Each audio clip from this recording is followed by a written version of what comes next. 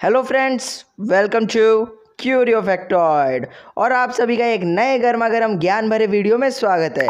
तो चलिए आज की वीडियो को बिना वक्त ज़ाय करते हुए शुरू करते हैं।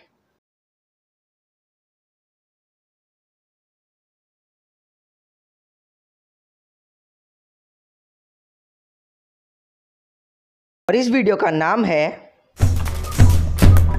क्या बात है, सर? क्या बात है, सर? क्या बात है? ये बात है। अरे सर, क्या बात है? Number one, two four one, five four three, nine zero three. क्या आप सभी को पता है, अगर आप इस नंबर को गूगल पर टाइप करते हो तो आपको कुछ इस तरीके की फ़ोटो दिखाई देगी। अब आप सोच रहे होंगे, ये कैसा तरीका है गर्मी से राहत पाने का? पर ये कोई गर्मी से राहत पाने का तरीका नहीं है। कुछ लोग होते हैं ना, जो खाली बैठे रहते हैं और उनके दिमाग में खुराफाती आइडियाज़ घूमते रहते हैं, जिन्हें कोई काम नहीं होता। वैसे ही एक शख्स का नाम है, डेविड हॉर्विट्स। उसके भी दिमाग से ये फ्रिज में मुंडा घुसाने वाला आइडिया ईजाद हुआ था। 2009 में उसने अपनी फ़ोटो खींची और ट्रम्बलर नाम के एक वेबसाइट में डाल दी और तब से 2018 तक ये ट्रेंड में चला, जिसे देखो अपनी फ़ोटो फ्रिज में घुसा कर खींच रहा है। अपने मुंडे को फ्रिज में घुसा दिया फ़ोटो खींच रहा है। अब क्या बताऊँ इनके लिए तो शब्द ही कम पड़ रहे हैं। और ये जो नंबर है ना, ये उसके फ्रोज़न नूडल्स का और उसके फ्रिज के बार कोड के नंबर का कॉम्बिनेशन है। बहुत दिमाग लगाया है। Number two Ferruccio Lamborghini. Sports car के इतिहास में लैम्बोर्गनी का बहुत बड़ा दर्जा है और बहुत लोगों के ड्रीम कार भी है लैम्बोर्गनी। पर आप सभी को क्या ये पता है, लैम्बोर्गनी के बनने के पीछे एक क्लच का कारण है? हाँ आपने सही सुना, एक क्लच का कारण है।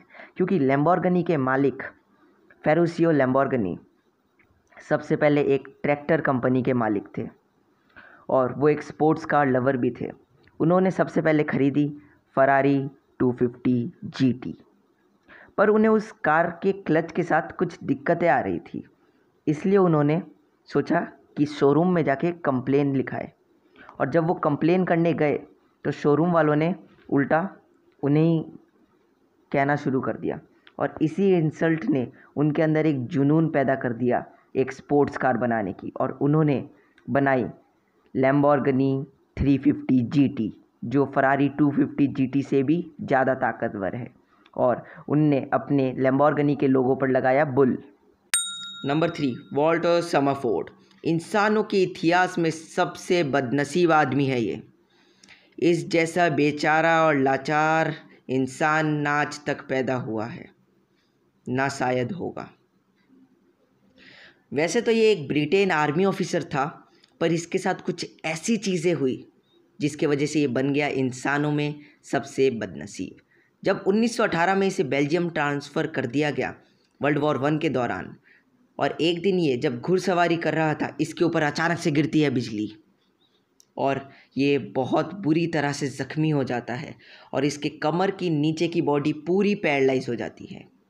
फिर कुछ महीनों बाद ये एकदम सही भी हो जाता है फिर ये कनाडा चला जाता है अपनी ज़िंदगी नए तौर से शुरुआत करने के लिए। फिर 1924 में, ठीक छः साल बाद, जब ये अपने घर के पास वाले तालाब में मछली पकड़ने जाता है, इस पर वापस गिरती है बिजली। और इस बार भी ये बहुत बुरी तरह ज़ख्मी हुआ और इसकी राइट साइड वाली बॉडी पूरी पैरलाइज हो गई। दो साल तक मौत से लड़ते लड़ते ये सही हो गया। फिर वापस, ठीक छः साल बाद 1930 पे जब ये पार्क में टहल रहा था, तब इस पर वापस गिरती है बिजली। और ये इस बार बहुत बुरी तरह ज़ख्मी हो जाता है। दो साल तक मौत से ही लड़ता है, पर ये जीत नहीं पाता और 1932 पे ये मारा जाता है। इसका कफन कनाडा में बनाया जाता है, पर तीसरे घटना के ठीक छः साल बाद 1936 पे इसके कफन पर वापस बिजली गिरती है। यह आज तक एक रहस्य जैसा बना हुआ है कि इस पर ही तीन बार क्यों चार बार क्यों बिजली गिरी और छः साल बाद बाद ही क्यों बिजली गिरी। इसका कारण किसी को नहीं पता। Number four, Tsutomu Yamaguchi. क्या आप सभी इनको जानते हैं?